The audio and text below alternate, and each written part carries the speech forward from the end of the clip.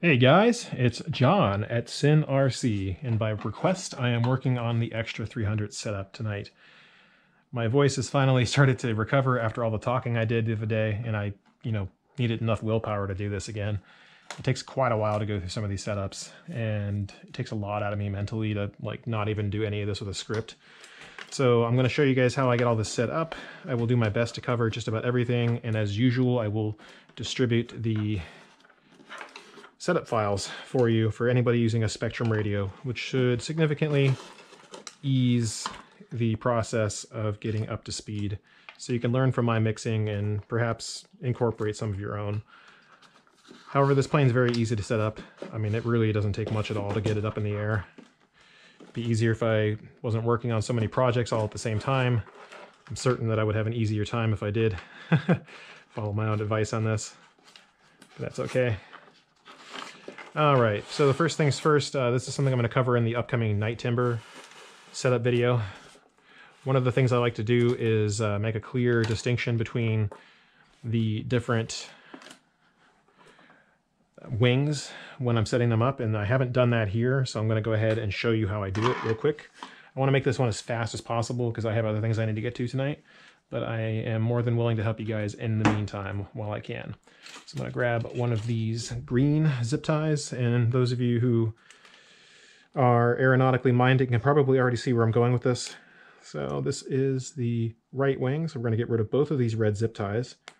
This is all leftovers from a different servo setup. I had to actually replace the servos in the wings just because one of them failed and you know, with how I fly, I'm not surprised. I've done some pretty violent maneuvers in this plane, and the stock servos can only take so much. So one of the things I like to do for airplanes is I set them up with a zip tie system. And I use a colored zip tie system so I can figure out which one is which based on just a quick glance. So I always use green zip ties and red zip ties. In rare exceptions do I ever change this. I use one zip tie for ailerons, two for flaps, three for elevators, four for rudder, and so forth and so forth, if I really need to do so.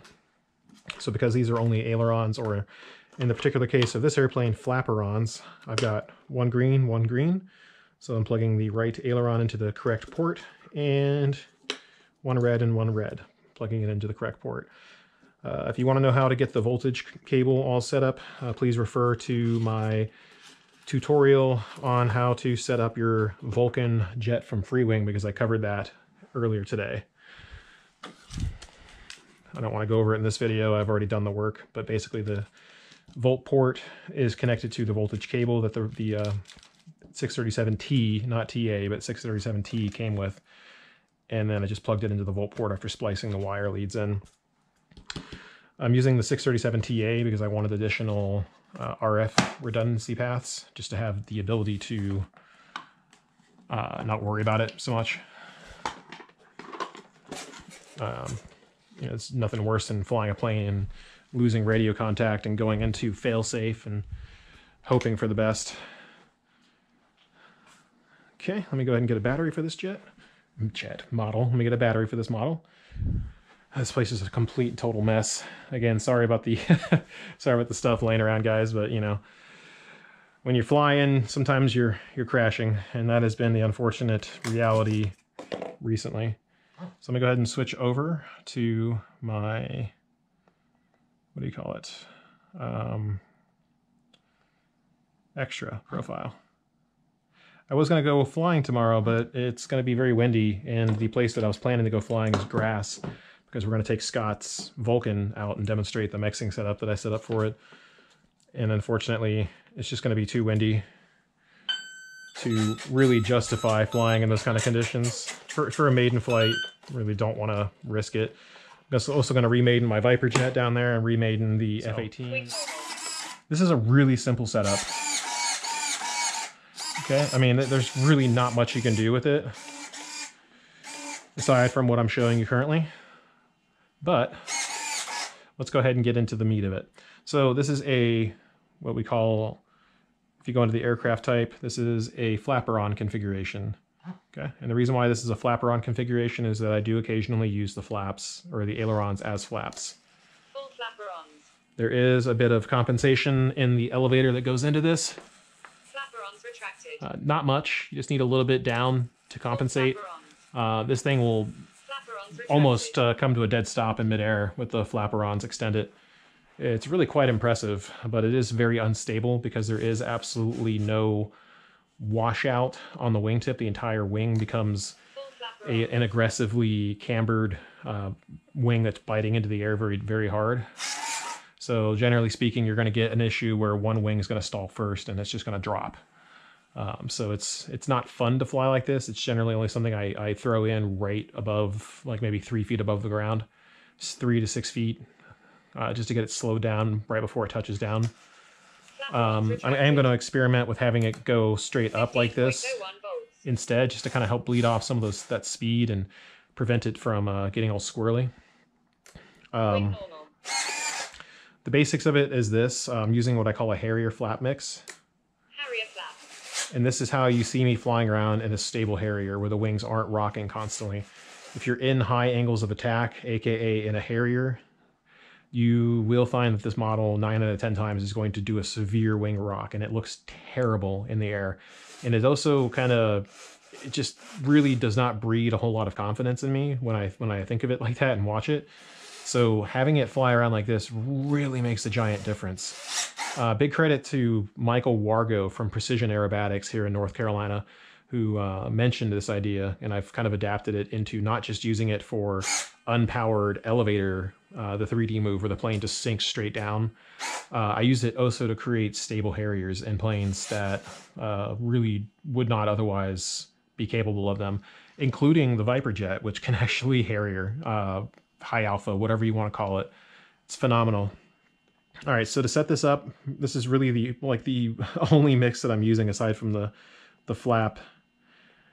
Um, all you have to do is just go into your rate for elevator to left aileron and just set it to negative 100 and negative 100, and it's as simple as that. Uh, to make it even more stable, I've been tempted to set it up Snap flaps. um, so that Wing. Let's see, like let's try to switch C and you'll see what I'm talking about. Well, I can set it up as a curved mix. So what this would do is kind of control how aggressive the ailerons move up in response to pulling up on the elevator. So in, in some ways, I'd rather have the, instead of it being a one-to-one, 15.01 where as the elevator goes up, the the um, ailerons move up. I'd rather have it move faster on the aileron. so they come up faster than the elevator does, so that it can get into a more stable Harrier without having to pull the elevator as far back. As I, I mean, a lot of times I'm pulling it all the way back and I'm modulating the throttle the whole time to get it to sit. So I'm actually going to set this up while you guys are watching, because I've been meaning to do this anyway. Um, I don't want to do this forever. I got to get back to setting up my, my F-18 at some point for my maiden on Thursday.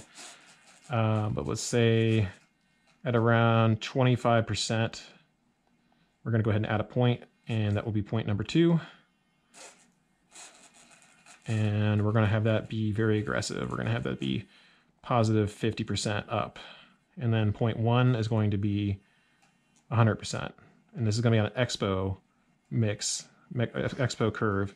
So what this is going to do is it's going to smooth out the the um, the movement so it's not linear. If you if you can see the screen really well, you'll see that there's a difference in how it's treating it. Okay. Oh, you know what? I have it set as the uh, the switch is the elevator stick. One second. That's why it was getting all wonky. Let's try that. So if you look at it from the side, you should be able to see it really clearly. Let's see. So I'm barely like I'm pulling back the elevator to 15, but I'm getting nearly 60% aileron mixed in.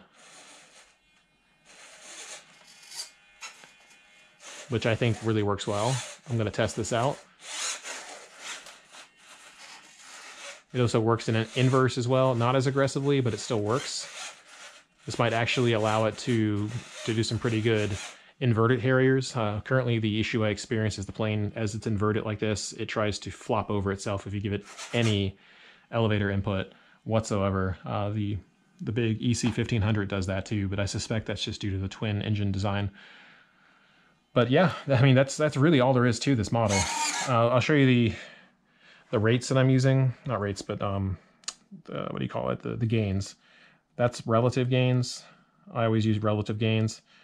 Currently, I have 20%, 20%, 20%. That's all I really need, but it's not even that high. It's actually rather low because it's half of that. It should be 10, 10, 10 because of the slider. When I pull that down, disabled. it's 0, 0, 0. Stabilizer normal. In the center, it's 10, and at the Stabilizer top, it's 20. Stabilizer So when I'm flying this model, I'm flying with very little stabilization. Uh, if if you feel confident doing that, I would even recommend uh, considering it for yourself. It's really going to push your 3D piloting to the next level because you're actually going to see the the behavior of the aircraft, and the gyroscope isn't going to stabilize it as much.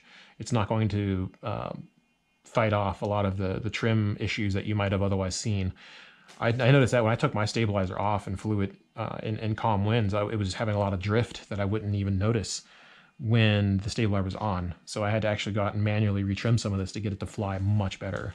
Um, once I started doing that and pushing myself out of my comfort zone, learning how to do torque rolls, even though I don't feel confident with the plane's wheels facing me in a hover, I pretty much, I, I think I've moved up to a newer level of, of piloting. And now I just need to start really honing in on some of these move, maneuvers that I haven't done as reliably. Uh, one of those being a torque roll. I'm getting there to where they're starting to look good, but now I need to get them lower to the ground where I'm kicking up dust and, and uh, really showing some confidence in my piloting skills. And I believe you guys can do the same thing. Um, if you're watching my channel, really appreciate you guys being here. Um, you know, I, I do take requests like this. The only real issue with this going forward is I am going to sell my iX12 going forward, and I don't think there's going to be a way to convert a uh, an iX20 file over to a DX or NX compatible setup unless somebody wants to volunteer to help me with that, in which case that'd be awesome because I'd love to get as many of these airplanes as I own distribute it into files that people can work with so you guys can work with what I consider to be the best mixing and the best setups available. Um, I really don't see the point of working with limited expo and limited uh, control authority and whatnot. I mean, this this plane has maxed out travel. I mean, I've got like 60 millimeters up, 65 millimeters down. The ailerons are basically air brakes. I actually probably need to tamp them down a little bit. Um, thinking like right here might actually be fine for a lot of the 3D maneuvering I'm doing, just to make it a bit more uh, tame and a bit you know easier to fly. But we'll see. We'll, we'll see how it all goes. I'm gonna do some more flights with it maybe Thursday and uh, give it some testing. I hope this uh, helped you guys out. I hope you enjoy. As always, leave me a comment. Let me know what you think and what else you'd like to see. And I will talk to you guys later. Cheers. Have a good one.